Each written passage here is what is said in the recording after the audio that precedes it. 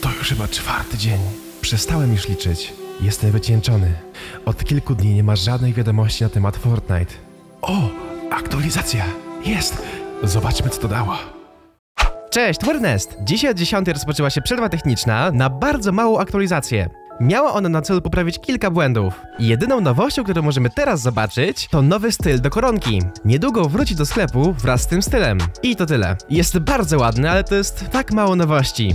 Nie ma nawet nowej broni, mimo tego, że w plikach gry są już gotowe. Dwie odświeżone wersje starych broni na rozdział drugi. Większa aktualizacja będzie dopiero za tydzień. Wprowadzi ona mnóstwo nowych świątecznych skinów, emotek i wyzwań. Tak jak zapowiedzieli to sami twórcy gry. Poza tym możemy się spodziewać powrotu starych świątecznych skinów. Już od jakiegoś czasu co dwa dni do sklepu wchodzi nowy lub stary świąteczny skin. Na tegorocznej liście skinów, które się pojawią w sklepie, na pewno są m.in. pierniki czy łamorzechy. Ale chyba na miejscu pierwszym jest elf. Elf wszedł do sklepu w drugim sezonie i jako jedyny świąteczny skin nie powrócił do sklepu na święta w 2018 roku. Po społeczności Fortnite krąży teoria, że tak samo jak Gold Trooper wróci po dwóch latach nieobecności z dodatkowym stylem dla osób, które miały go wcześniej.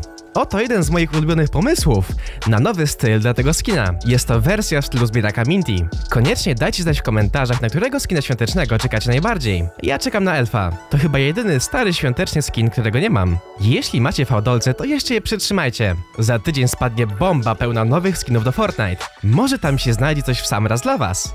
Zanim przejdziemy do wycieków, to już dzisiaj o 17 rozpocznie się starcie streamerów z Polski ze streamerami z Rosji. Cała zabawa będzie polegała na tym, że po obu stronach jest po 8 zawodników, spośród których zostaną wylosowane pary. Oto jakie drużyny zostały wylosowane. Następnie polskie pary zawalczą o jak najwięcej eliminacji na oddziałach przeciwko parom z Rosji. Więcej szczegółów poznacie na moim live'ie, który rozpocznie się około 16.45. W temacie wycieków to zbyt wiele tutaj też się nie dzieje. Lukas na swoim Twitterze dał znać, że do plików powiązanych z eventem Galileo został dodany plakat, ale jego tekstura jest zaszyfrowana i można podejrzeć tylko sam model.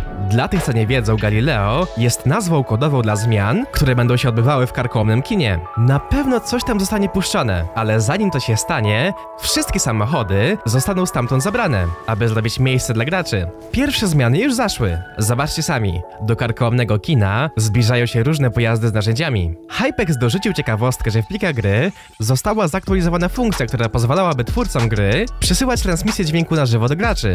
Mogliby to wykorzystać jako na przykład jakieś ogłoszenie w grze. Albo może odbędzie się powtórka koncertu Marshmello. Wtedy Marshmello mógł do nas mówić na żywo w grze. Hypex dodał, że dodali do tej funkcji system mimiki twarzy. Kiedyś coś takiego już było w grze. Gdy ktoś mówił w lobby, to poruszał ustami. Ale to już chyba nie działa. Zaktualizowany też został odtwarzacz transmisji na żywo, który pojawia się w menu gry. Możecie go pamiętać z World Cupa. Wtedy można było oglądać, co się dzieje na żywo w grze. Ale niestety to psuło grę. Ta aktualizacja prawdopodobnie miała na celu to naprawić. Poza tym Fortnite ogłosiło, że od 17 grudnia będzie można kupić Nintendo Switch w zestawie ze skinem Helix w Korei.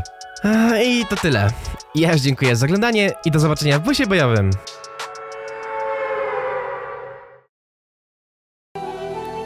Tyle?